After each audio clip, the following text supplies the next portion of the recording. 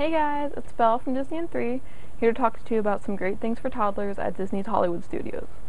Um, a great thing about this park is they have fantastic stage shows. So there's one called Voyage of the Little Mermaid, and there's also one called Beauty and the Beast live on stage.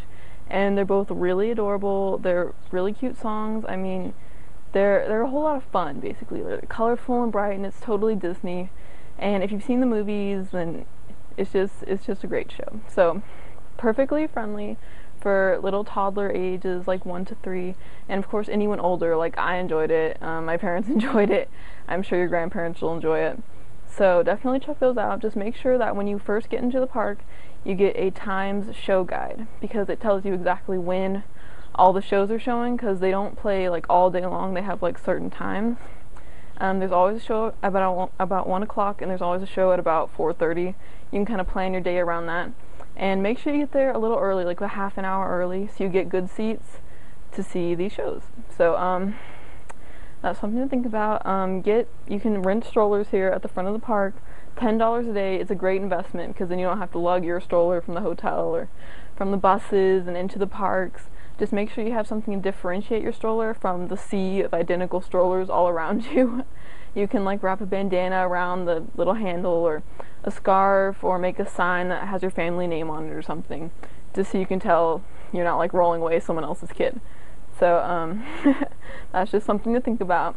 A great thing that they added recently was it's called Disney Junior live on stage. It's really cool because kids watch Disney Junior in the mornings I know my little sister did when she was three or four and now they can see their characters live on stage at Disney World. You can see like Handy Manny, they have the little Einsteins, um, Jake and the Neverland Pirates. Um, that's a new one they have. Um, yeah, it's like a great show. It's a lot of fun. They have like little activities for the kids, and you sing and you dance and they clap and you, everything from the show, but in real life. And it's cool because after the show, sometimes you can meet the characters in the back of the place. They have like little trailers or something and they'll sign your autographs and they'll take pictures with you. I mean, it's just, it's really cute. So if your kids enjoy Disney Junior, they're definitely going to love that. Um, this place has really kid-friendly restaurants for picky eaters.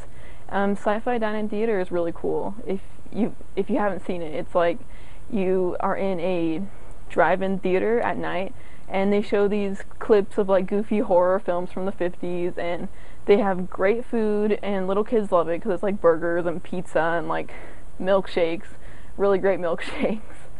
So check that one out if you're in the mood for like a sit-down dinner. A more casual place to eat that's great for kids though is called Pizza Planet.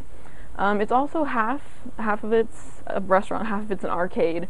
So you might have to shell out a little bit of money for your kids to play some games, but it'll give you a break. You know, the food, kids love it. I mean, it's all pizza. It's good pizza too and you get your drinks and it's completely air conditioned so just take a break there and kind of like rest a little bit let your kids run around and play um, another great place for kids to like let off a little bit of steam if they've been sitting in shows or you know they're a little bit antsy it's called it's in the back of the park it's called disney no it's called honey i shrunk the kids playset and it's cool because it's just like that scene if you've ever seen it from honey i shrunk the kids where they're in the backyard and they're trying to get back to the house and they're like running from the lawnmower.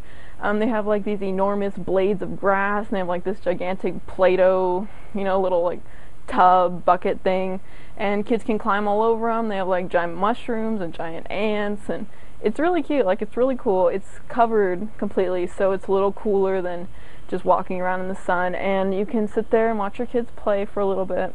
You know, take a break if your little one wants to run around.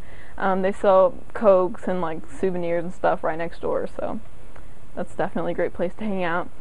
Um, Fantasmic is the nightly show that they have at Disney's MGM Studios.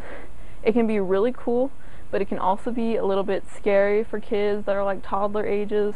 Um, if your kid's pretty brave, which which is good, then they will definitely enjoy it. There's like this dragon, and it's like spitting fire, and they show like clips from Disney films, and you see the princes and the princesses and they dance on these boats and it's really cool because it's like this water extravaganza fireworks show but it can also be a little scary for kids if you know if your little one gets a little antsy at loud noises or anything i mean there's no shame in that. But there's always a few kids that just they lose it and they get scared and they start crying. So if you're afraid that might be your kid then it's fine. Just skip it. It's no big deal. I mean it's a cool show but Uh, you don't want your Disney dream vacation to turn into a nightmare for your little one.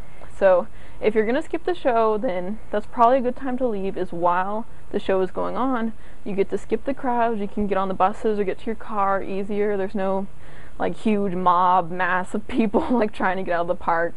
Um, so just something to think about. Um, this was Belle from Disney in 3, and I will see you guys next time.